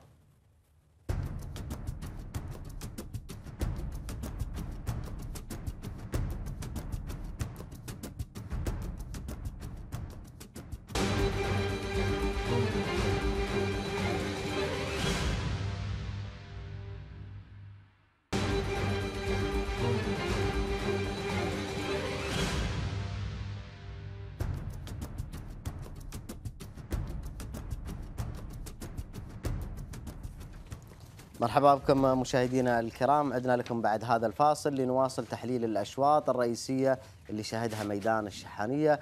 الذهيبة حضرت في منافسات سن الحيل لهجن الشحانية لتنتزع المركز الأول بقيادة المضمر المشاغب محمد بن خالد العطية الذي قادها باقتدار كما قاد مربط في شوط الزمول ولكن هذا هو شوط الذهيبة وتوقيتها 7 دقائق 52 ثانية جزئين من الثانية أبو راشد كيف تابعت الذهيبة اللي قادها المشاغب في هذا الشوط الرئيسي؟ إحنا نهني هجن الشحانية على هذا الإنجاز ونهني المضمر محمد بن خالد العطية على فوز الذهيبة الشوط الأول. للمرة الثانية على التوالي هي كان صاحبة هذا الشوط في المحلي الأول. نعم. وأيضا توقيتها الزمني هو الأفضل. وتوقيتها هو الأفضل والناقة العام هذه كانت فيها متعطلة شوي. العام. اي ما كان عندها مشاركات والعام ثانية. كان فيه مناوشات من هجن الرئاسة اللي هي حضاري عند رايت بن مقارح. لا شك الذهيبة أصرت كل إصرار على انتزاع هذا الشوط. والهجن اللي شاهدناها الهجن الشحنية سواء عند بن فران أو محمد بن خالد أو سلطان في السن الحلو زمول اداء مميز وشاهدنا أسماء لمع حتى وجدت في سعد نعم دوما جت محل- المركز الثالث. ثالث تقريبا. ثاني. لا شك ثاني، الذهيب- الذهيبة هي الأفضل في هذا الشوط وعلى مستوى الحيل كلها. أنا قامت المقدمة وعندها نهاية واصرار فنتمنى نشوفها في هذا المستوى. هي واماتها وكل شعارات هجن الشحانيه مع كل مضمرينها نعم. هذه دوما الحين في دوما في المركز الثالث. المركز الثالث. معاها اللي هي حضاري اللي الهجن الرئاسة. ولا شك الذهيبه جات آه، تقريبا آه، أفضل تيم في هذا المرحلة. تقريبا آه، دوما الثانية حاله ثانية، ثانية. نعم. نعم تقريبا. دوما ثانية وحذاري ثالثة الهجن أو سوا الرئاسي. بنشوف تقريبا سوا ثانية. خط واحد. ثانية هي. إذا آه هذه الذهيبة لهجن الشحانية توقيتها كان الأفضل 7 دقائق 52 ثانية جزئين من الثانية. المركز الثاني كان مع دومة لهجن الشحانية والمركز الثالث مع حذاري لهجن الرئاسة. في الشوط الرئيسي الخاص بالزمول استطاع مربط أن يربط اسمه بهذا الشوط آه، كفائز بالمركز الأول تهانينا لهجن الشحانية. وللمرة الثانية على التوالي أيضا نزف التهنئة للمشاغب محمد. بن خالد العطية النجم اللامع في سماء المضمرين ليس هنا فقط في قطر ولكن في الخليج عامة. أبو خالد آه، تابعنا آه، شوط مربط آه، ومربط استطاع أن يقتنص المركز الأول. صحيح. المرة الثانية على التوالي نزف هذا الناموس لهجن الشحانية ولا هو بغريبة على مربط. مربط شفناه شارك في التمهيد الأول في نفس الشوط الأول. وانتزع هذا الشوط كذلك صالحه. ونهني مضمر هذا الشعار اللي هو محمد بن خالد العطية ونتمنى إن شاء الله أبو خالد مثل ما عودنا دائما نشوفه في أشواط الرموز وخاصة في زموله وفي أشواط القعدان. ينتزع الرموز مثل ما انتزعها العام الماضي في السلطنة وعندنا هنا في قطر وفي ميادين دول مجلس التعاون. ونتمنى إن شاء الله نحن نشوف هذا البعير ونشوف إن شاء الله ال- أخوانه الباقيين إن شاء الله خير من يمثل هذا الشعار إن شاء الله في المحتفلات الداخلية والخارجية. ونتمنى لهم إن شاء الله التوفيق. ومربط يعني حتى توقيته تحقق توقيت يعني آه، أفضل توقيت في البعارين أفضل. توقيت في الزمون. وعصا في ابطال بدون أوامر مثل ما تشوف يعني بكل أريحية حسم الشوط لصالحه ونهني هجن الشحانيه على هذا الأنجاز وعلى هذا الأداء اللي نشوفه تميز به هجنهم في هذا الموسم. هذا هو مربط ومثل ما قلنا ثمان دقائق ثمان ثواني خمسة أجزاء من الثانية هو أو ستة أجزاء من الثانية وهو التوقيت الأفضل بالنسبة للزمون. نتعرف معاكم على الأسماء اللي حققت المركز الأول في منافسات الحيل والزمول للأشواط المفتوحة.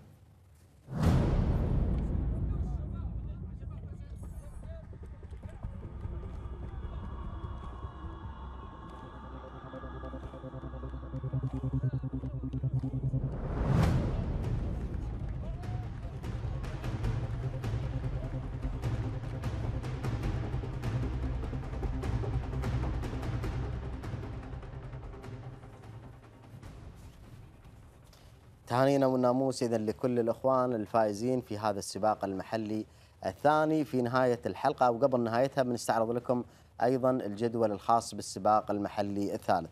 ناخذ تغريداتكم. حمود يقول الناموس لهجن الرئاسة بمناسبة حصولهم على الشوط الرئيسي للثنايا مع ملبي ونتمنى لهم التوفيق في الأشواط الرئيسية. هزاع العطوي يقول السلام عليكم. يلا حيكم. منورين يا أهل الجزيرة.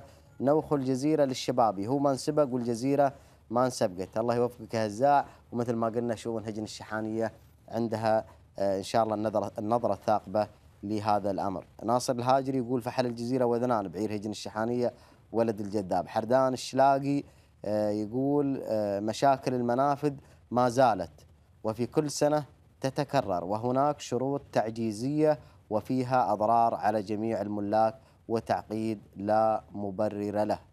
نقول يا حردان بإذن الله إحنا ما نقدر نتكلم في هذا الموضوع. هذا الموضوع يمكن يكون شأن خاص بالجهة آه، موجودة في آه، الشقيقة المملكة العربية السعودية آه، اللي نكن لها كل الحب وكل الاحترام وكل التقدير. ولكن اللي إحنا واثقين منه بأن القائمين على هذه الرياضة سمو الأمير عبد الله بن مساعد آه، بن عبد العزيز آل سعود رئيس الهيئة العامة للشباب والرياضة في المملكة وكذلك سمو الأمير عبد العزيز بن سعد بن جلوي آل سعود رئيس اللجنة المنظمة لسباقات الهجن في السعودية هم قادرين إن شاء الله بوضع الحلول التي تعالج هذه المشكلة اللي إحنا نقدر نقول بأنها مشكلة آه، كبيرة جدا لأن المطية آه، لها برنامج تدريبي ولا لا نعم ابو علي؟ نعم لها برنامج تدريبي ولها خطة في آه، التدريب فتعطيلها في المركز هذا يأثر عليها يأثر عليها في مشاركاتها يأثر- اللي هي رايحة لها.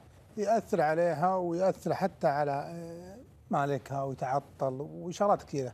لكن المسؤولين مثل ما تفضلت المسؤولين أكيد إن شاء الله لهم نظرة غير نظرتنا وإن شاء الله بيشوفون الانسب يسوونه و- وهل الهجم ما عندهم مشكلة يا أبو محمد؟ في أي نظام يحطونه راضين بس يعني يرغبون يعطونهم خبر قبلها بفترة على عشان الحين الأيام هذه أيام سباقات سواء صح. في قطر ولا في دولة الإمارات ولا في أي دولة خليجية السباق متواصل. صح. يبغون الاجراءات عشان يسهلون أمورهم يرتبون أمورهم قبلها علشان يلحقون على المشاركه عشان ما. يتعطلون في شاء الله. نتمنى مثل ما تفضلت المسؤولين إنهم إن شاء الله بيشوفون الأنسب والحل ال- ال- المناسب ل- إن ل- شاء الله. لهم إن شاء الله وأكيد يسعون لل- للخير لهم إن شاء الله. آمين يا رب. نتمنى لهم إن شاء الله التوفيق. إن شاء الله. المنافذ آه، عبيد مثل ما قلنا المطية تحتاج إلى آه، سرعة المرور في المنافذ. ليش؟ وراها تدريب وراها آه، سنة للمضمر فتعطيلها في المركز يأثر عليها. بالفعل لو دروا أنا أقول لك هالهج اللي تعطلوا إنهم بيواجهون اللي واجهوه في المركز. ما كان حملوا ولا كان راحوا. صحيح. آه، المطية طال عمرك يقول حال البدوي من حال مطيته. والمطية طال عمرك إذا مرت بسرعة وبسلام راعيها مرتاح ومستانس ومبسوط. لأن المطية طال عمرك إذا تعطلت لها عواقب كبيرة على المطية وعلى راعي المطية حتى على نفسية راعي المطية. فالمطية طال عمرك آه، إحنا نطالب ودائما نناشد آه، أصحاب القرارات في هذا المجال بأن المطية يكون لها مسار خاص. المطية تختلف عن باقي البضائع. إجراءات الجمارك أو إجراءات الجوازات كل أهل الهجر يرحبون فيها. بالنسبة للتفتيش بالنسبة وملتزمين فيها. نعم ملتزمين فيها. ولكن أنا أتمنى انه يكون في مسار خاص في جميع المنافذ في أبو سمرة في سلوى في الغويفات في البطحة يكون مسار خاص للهجن وأهل الهجن بحيث أنه وقت المراكض خصوصا مع بداية الموسم. يعني تدري أنت بداية الموسم يبدأ من شهر تسعة عندنا في قطر ويبدأ بعد في, في الإمارات نفس التوقيت. فيجونك ناس محملين من الطائف ناس محملين من تبوك ناس محملين من عيريه كذلك شقانا أهل الامارات ناس محملين من العين وناس واللي واللي عمرك وكلهم يجون طال عمرك في يبغون الطائف وهالقطر واللي- نفس الشيء يروحون المشاركه في الطائف يروحون يشاركون في الامارات.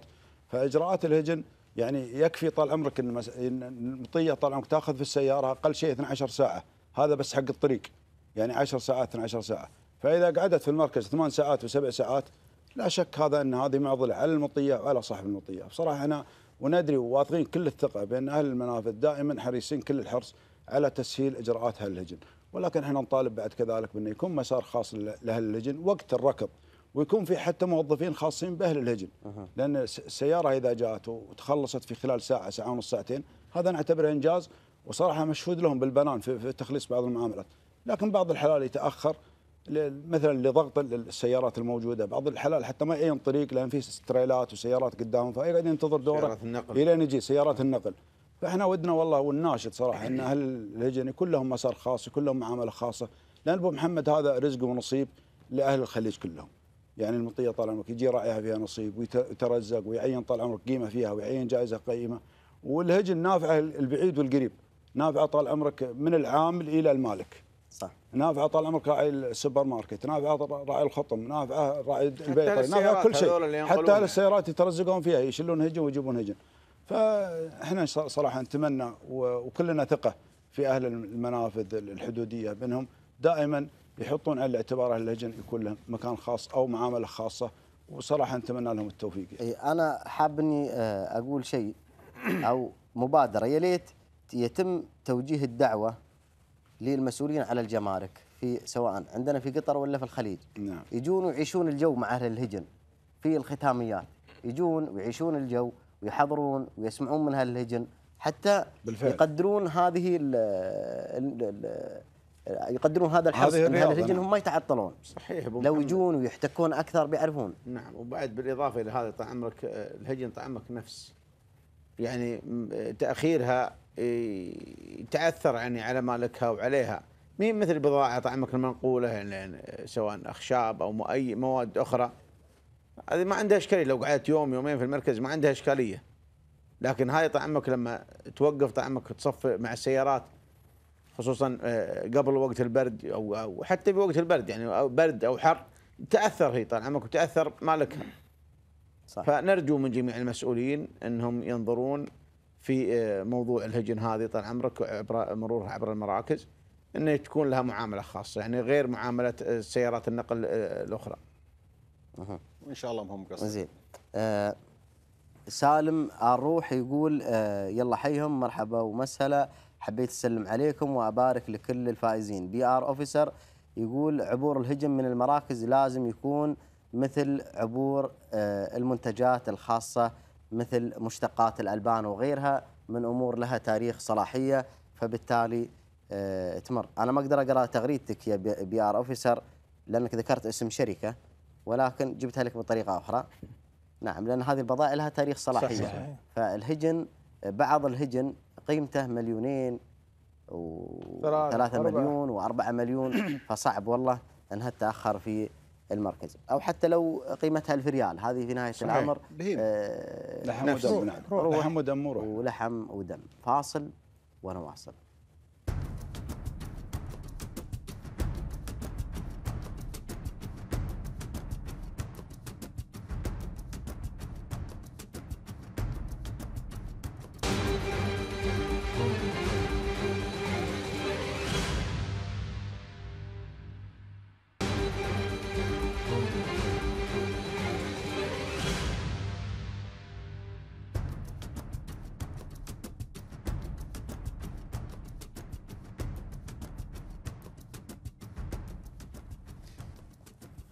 يا مرحبا بكم آه، مشاهدينا الكرام في الجزء الأخير من آه، حلقتنا من برنامج الريس اللي نحب أن نتكلم في أشياء تتعلق بأهل الهجن دايم. من الأشياء المهمة جدا خاصة عند المنتجين آه، والراغبين بصحة مطاياهم وأنها تكون بأفضل صحة اللي هو مرض سمعنا عنه في السنوات الأخيرة ألا وهو مرض البروسيلا. هذا المرض انتشر انتشار آه، كبير في آه، أوساط المنتجين. هذا المرض إحنا حاب نسمع من الناس عبر آه، هاشتاج البرنامج برنامج underscore الريس إذا فيه علاج أو إذا فيه مبادرات من المختبرات أو من المستشفيات البيطرية لحل هذه المشكلة أو لعلاجها. نسمع إحنا في جروبات الهجن على ال- البرامج التطبيقية اللي هي الواتساب وغيرها بأن هناك في دكاترة يبادرون بوضع علاج آه، أبر حبوب آه، علاجات شعبية. ما أدري إيش رأيكم يا الربع؟ وفي علاجات شعبية وفي هبار يستخدمونها بس ما أعتقد إنها ما تقضي على هذا المرض يعني قضاء كامل. فترة بسيطة ولو ترجع تفحصها يمكن تعين فيها. وفي ناس استخدموها ومر عليها فترة زمنية وفحصوها مرة ثانية ولقوها سليمة. يعني وهذا المرض أنا اكلمك شخصيا عندي ناقة من العام فحصتها وقالوا فيها. وفحصتها السنة هذه وطلعت سليمة. وأنا ما عالجتها ولا سويت بها شيء. قالوا سليمة؟ سليمة. ما أدري هو خطأ في الفحص. افحصها مرة ثانية أبو خالد. بفحصها مرة ثانية وبعلمكم باللي يصير معها إي والله. الناقة موجودة الحين. المرض هذا ما يبين فيه حالة المطية. هذا المرض طال عمرك السيد وهي وهي سعد والله العظيم إنها من أسمى المطايا ومن أسمى الحلال اللي. عندك. ولا ولا يبين فيها أي شيء من المرض هذا. زين إحنا محمد نسمع. ولا- الربع. الموضوع هذا طال عمرك آه، ما له يعني تأثير يمكن تأثيره في المرة الأولى في اللقاح ما يتم لقاحها. علميا يسمى الإجهاض المبكر. أنا تابعت وسألت دكاترة قاطعين شوط في المجال هذا. الإجهاض المبكر للمطية اللي لما تلقح أو تكون القحة يجيها المرض هذا يعني 90% من الحلال اللي يحمل. الفيروس ال- البروسيلا إجهاض مبكر. يعني ما هي بحمى مالطيه لا, لا يعني ما فيه يعني الناقه صاحية وطيبة ولا فيها أي تأثير. ولا فيها أي شيء. ما تفرقها من السليمة. ما تفرق بالعكس يمكن عافيتها خير من عافية المطيه السليمة. لكن طال عمرك آه، في مسألة اللقاح 90% من الحلال اللي يصير تصعد. الفيروس هذا تصعد. قبل موعد أولادها بشهر ولا بشهرين. تصعد. يعني تحذف حاشية. حذف حاشية. نعم. ولكن في المرات الأخرى على قولة بن حضيره موضح الأمور يا الغالي. في المرات الأخرى آه، تلقح طبيعي وتلت طبيعي و- سبحان الله يعني في حشوان عند ناس امهاتها فيها بروسيلا وفحصوهن قدهن مفاريد ما فيها شيء. طلعن سليمات. نعم. وأمها تحمل آه، أمها تحمل مرض. البروسيلا والفيروس هذا ممكن يروح. يروح يخمل هو يخمل وينشط. إذا كان جهاز المناعة عند المطية قوي يدافع يصير فيه خمول وما يبين فيها أي شيء. لكن إذا خفت مناعة المطية يعيد يرتفع. عن- عندك نياق فيها بروسيلا نعم. زين فحصتها تو؟ فحصتها. عينت فيها ولا نعم فحصتها طال عمرك. معظم الحلال اللي كان فيه العام بروسيلا وجدت فيه وفي حلال ما وجدت فيه شيء. حلال- وعدت الفحص حلال, حلال. كان في قبل؟ نعم وعدت الفحص مرة أخرى ولا فيش زين فهد اخذت لها علاج؟ استخدمت لها علاج؟ لا والله أنا في البداية كنت أستخدم مضادات وأستخدم أدوية آه، أعشاب. يعني شنو هي الأعشاب آه، استخدمت خيل ومر وحلتيت وشغلات آه، أعشاب واكبها لها مع الماء. ولكن في نفس الوقت اللي استخدمتها فيه ما جابت نتيجة. واستخدمت مضادات اللي هي الأمصال هذه مضادات حيوية ولا في فائده يعني ما في. لكن عقب ما فحصت عقب فترة طلعت سليمة. في بعض الحالات طلع سليم. بعض الحالات طلع نعم. سليم. وبعضها وجدت فيه وبعضها ما زال موجود فيه. وفي بعض الحلال يوم تعالجه المضادات الحيوية وهذا تا- وت- تاخذ فحصة. قريب من من يعني من نهاية العلاج أو مع نهاية العلاج يظهر سليم. لكن يعني بعد فترة؟ مع الفترة الله العالم إنها تنشط إن- وترجع وتعينه بس فيها نفس المرض. آه، اللي اللي بقوله يا أبو محمد وهو الربع لا أنت المرض هذا كبريت. نعم. سريع انتشار. يعدي. يعني انتقلت العدوى في بين أوساط الحلال بطريقة غير طبيعية. معدي. نعم إنه معدي. يمكن طبعا أنا سألت دكاترة. طيب عندي حلال ما هو مع حلال يعني بينه وبينه يفصل شبوك وبعيد منه. شلون جاها؟ إحنا قلنا لو بداية جاء ال- البل هذه من الضراب يعني انتقل لها عن طريق الضراب البعير مضرب الهناقة فيها المادة نقل المادة آه، أو الفيروس هذا من المطية المريضه على المطية الصاحية وانتشر وانتشر عند الحلال. لكن بعض الحلال عجوم العجوم اللي هي ما بعد نوخت. نعم. وجدنا فيه. يمكن في أمه. لا. عجل بلاها مهم من جديد. أنا سأل الضرر. أنا سألت الدكتور وصلت للدكتور عبد الحق مدير مختبر سويحان وسألته عن الموضوع هذا. قال لي ينتقل عن طريق الدم عن طريق الجراد وعن طريق البعوض. إي بس اللي- الجراد الجراد نعم. ممكن. هذا الجراد والبعوض دم اللي. هو في المراح صح سبحان الله يا أخي. وهذا يعني من واقع تجربة شخصية. نعم. بس- وأيضا إحنا بعد نوصي بعد أبو علي ولا مهتل الرابع نوصي هالإنتاج. يمكن مطية الريس يكون الاهتمام فيها أكبر من ناحية السبوح والتنظيف و- الفحوصات المستمرة. والفحوصات وتنظيف مكانها البل يمكن شوي الجماعة آه اهتمامها يكون لا مو أقل بكل المنتجين يا أبو محمد في بعض المنتجين يعامل الإنتاج مثل ما عملت الرئيس يس- كان كان. كنظافه وك. يعني كنظافه ك- مكان وكاهتمام وك- وكمضادات و- نعم وكرش مبيد- مبيدات حشرية تسبيح وكل شيء لكن أبو محمد أنا المرض بس هذا يمكن عددهم قليل لكن الأك... الأكثرية ما يهتمون ما والله. يهتمون. شوف أبو محمد ال- الجراد آفة هذا ما تقدر. حتى اللي, اللي تكلمنا عنه. أنا أحس إنه للحين ما وصلوا العرب إلى اذا علم يكون مقنع. يقنعك ويقنعني ويقنع الثاني والثالث. في أسباب. السبب الأول طال عمرك إنه مثل ما تفضل أبو مبارك في بعض الحلال يجيك صغير. يعني للحين هم أول ما طلع ال- ال- الخبر عنه أنه ينتقل عن طريق ال- تزاوج. التزاوج. إذا مطية مصابة تضرب بعير مصاب آه، سليم تنقل له العدوى. والعكس صحيح. بعد فترة شافوا الناس فيه بعضهم بعضها حشوان صغار بعضها قعدان ما ضربت بعضها أبكار ما بعد عندها صغار في سن وفيها المرض. زين ولقوا فيها المرض. قالوا بعد في البداية قالوا إن المرض هذا إنه يعدي الناس اللي قريب من المطايا. وهذا الشيء هذا ما شفناه. نشوف نشوف عندنا عمال ونشوف عندنا ناس قريب من الحلال ما يصيبهم شيء صح. ولا يجيهم شيء. هذا كلام صحيح. يعني في شيء للحين ما مو بواضح. والشيء الثالث طال عمرك ان المطية اللي اللي تحمل الفيروس هذا أو اللي نتكلم عنه البروسيلا. ما نشوف لها فرق على أماتها. يعني ما المطية المريضة يبين فيها المرض تضعف كل شيء يأثر فيها.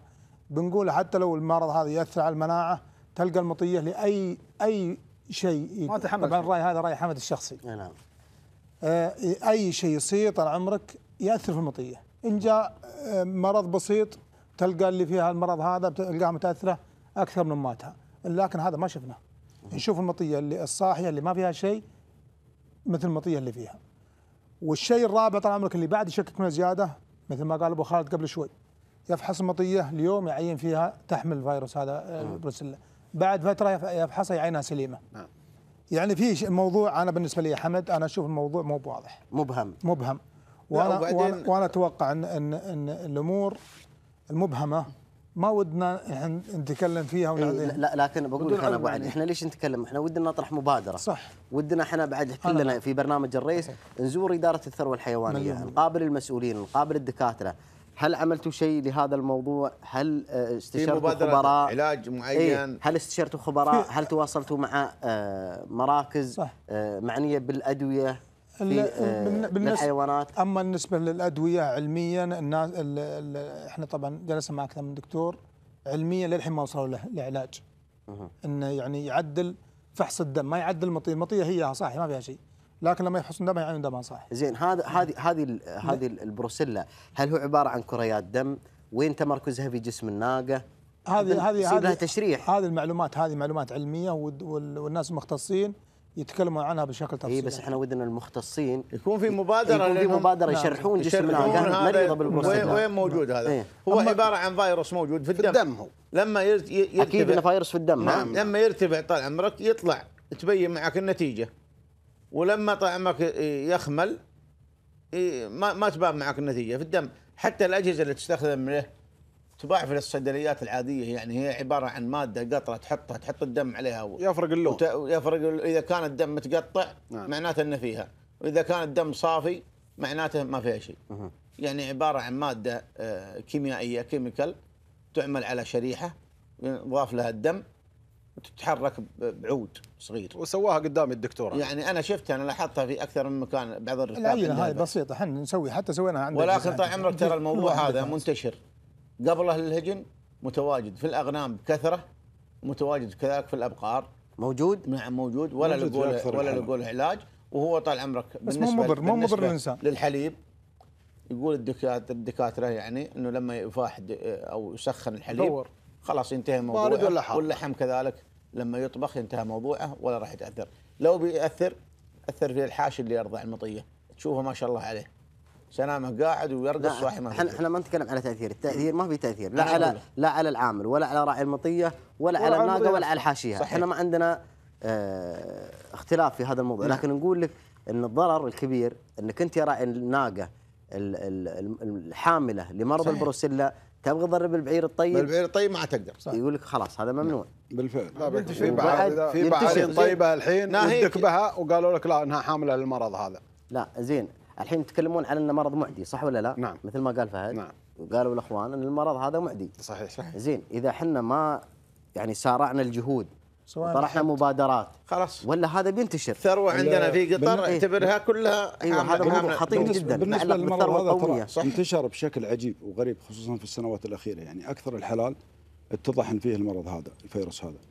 ومثل ما تفضلوا الإخوان يعني فيه اجتهادات شخصية من قبل بعض الشباب آه، عملوا خلطات معينة واختفت الظاهرة عندهم تماما. ولكن ترجع. والسنة الجاية لقوا نفس الفيروس موجود في المطيه علما بين المطية تلقح وتلد والناقه المنتج تجيب بكرة سبوق وتجيب قعود سبوق ولا يردها لا في ركض ولا في أي شيء وأنا أتوقع لو كان فيه يعني بحوث جدية بخصوص هذا الموضوع أكيد بيلقون علاج لهذا الفيروس لأن الفيروس هذا أنا ما أعتبره فيروس خطير يعني للغاية لأنه لا لا يذبح علاج يا عبيد هذا؟ حاولوا فيها والناقة. تلقح ولدها يسبق وبنتها تسبق ولحمها ينكل ولبنها. ينشرب لكن أنا أتوقع لو سووا بحوث جدية وجذرية في هذا الموضوع أكيد بيلقون حلول زين. لأن الحلول البسيطة جابت نتيجة زين. أنتم الحين الحين أبو خالد يقول الموضوع هذا من سنين من سنين لكن ما كنا نسمع عنه لا لا, لا. ما لا، كان لا، ما كان انتشر- من سنين. انتشر ما كان بالظاهر إحنا الفاحصين أنا محاكيك فاحه صبلي أول العام ولا فيها ولا مطيه لا ولا انتشر في مطية الاوان فيها الاخيره يعني. بشكل غير عادي تم إحنا نروح للضراب نروح للركاب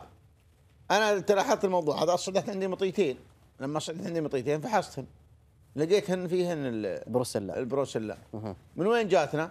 جاتنا معي مثل التزاوج لا دخلنا مطية جديدة على بنا وبنا طيبه فهذا أنت تقول عندك عجوم ما ما ضربا ولا جاهل لا شيء بعد. بعد بعد, بعد ما انتشر الموضوع انتشر- لكن أنا اتكلم. أبو خالد إنه ما كان قبل نسمع به قبل خمس سنين ما كنا نعرفه. ما كنا نعرفه ما كان الفحوصات مثل الوقت ما آه. كان الفحوصات مثل ال- الوقت اللي إحنا حتى فيه يعني الحين. كان موجود بس إحنا ما نفحص ما نفحص. حتى الحين لما بتفحص بس ما كانت تصعد البل بهالكثرة لا في لا. يجي ص- صعاد يجي صعاد مطية. واحدة. عندك في الموسم ما تصعد عندك 10 ممكن 15 تكون حامل مطية. المرض ما كنا ندري عنها بس أي. سبحان الله المطية اللي مصعد ذا الزمان الزمان الجاي تلد عادي سبحان حتى الله الحين الحالات لما تفحصه ما يبين لك وش اللي يستلمها المريضة نفس الحالة كلها ما- وهذا وهذا بعد إذا إحنا ابو أبو علي إذا مثل ما قالوا الإخوان إنك تفحصها الحين وما تلقى فيها وبعد فترة تلقى فيها البروسيلا هذا بعد له خطر على البعارين ناهيك يا خطر. أكيد لا خطر.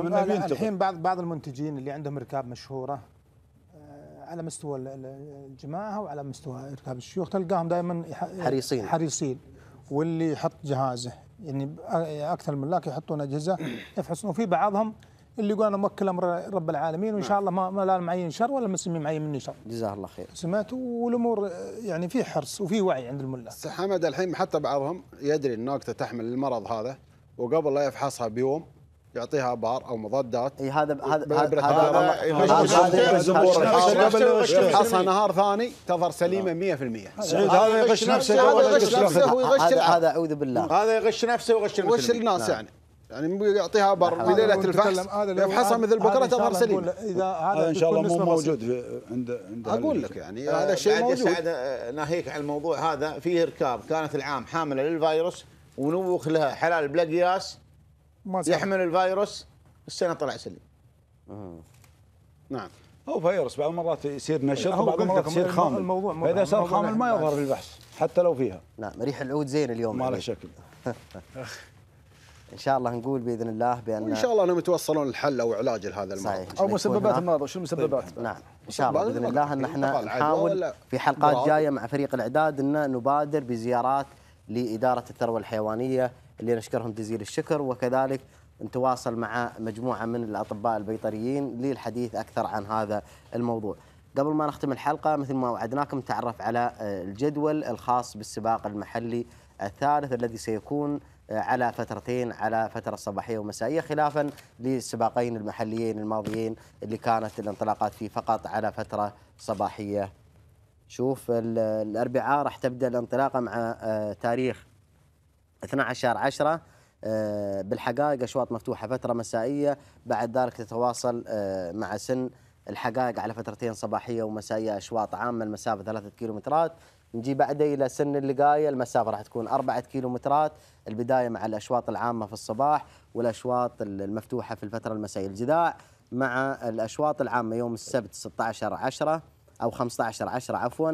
أشواط عامة المسافة 5 كيلو في الصبح للأشواط العامة والمساء للأشواط المفتوحة. الجمعة الثنايا الصبح الأشواط العامة والمسافة 6 كيلومترات الفترة المسائية مع الأشواط المفتوحة والمسافة 6 كيلومترات وصولا إلى سن الحيل والزمول والهجن السودانية في الفترة الصباحية مع الأشواط العامة والفترة المسائية مع الأشواط المفتوحة والمسافة 6 كيلومترات. نبدأ بتاريخ 12 وننتهي بتاريخ 22 على مرحلتين. نعم. مرحلتين المرحلة الأولى والمرحلة إيه. الثانية. المرحلة الأولى بتكون للحقائق والدقائق الجداع. نعم المرحلة الثانية من الثنايا إلى للحيل سن والزمن. الثنايا والحيل والزمول. يمكن آه وصلنا إلى خط النهاية مشاهدينا الكرام. أعتقد بأن الدخول يمكن كان فوتو فينش بين أبو خالد وبين عبيد السناري في هذه الحلقة. نتمنى لكم التوفيق مشاهدينا الكرام ونشكركم على حسن وطيب المتابعة ونشكر كل الأخوان اللي شاركوا معنا في آه، تغريداتهم. ودي نشوف هذه الصورة. حلوة والله. إعداد الطالب عيسى بن سليمان بن حسين القيسي. راسم رسمه عن طريق ال- الكتابة أفلا ينظرون إلى الإبل كيف كيف خلقت؟ خلقت. واضحة؟ الخالق. رسام ما في حيلة إي نعم طالب هو في المدرسة. أتمنى له التوفيق. الله يوفقك. بيطلع بي- بيض الله وجهك يا عيسى بن سليمان بن حسين القيسي. علي بن مرسل الفطيس يقول أخوي سعد في ناس يعرفون إن فيه أبر مضاد حيوي وأعشاب تخفي المرض فترة يستخدمونها عشان يتجاوزون الفحص الحكومة. هذا دمار الفحول صدقت يا بن مرسل. بيض الله وجهك على هذه التغريدة. ونشكر كل اللي غردوا ويانا. نشوفكم إن شاء الله في الحلقة الجاية من فريق العمل. تقبلوا أطيب آه، تحية. ومن أيضا الزملاء المحللين يرسلون لكم تحياتهم. والسلام عليكم ورحمة الله وبركاته.